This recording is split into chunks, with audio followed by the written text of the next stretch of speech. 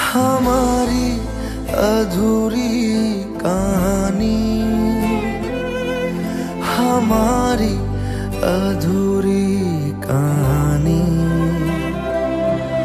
हमारी अधूरी कहानी। हमारी अधूरी कहानी।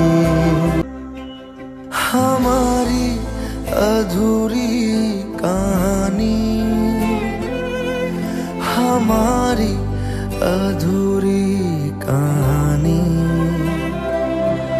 हमारी अधूरी कहानी।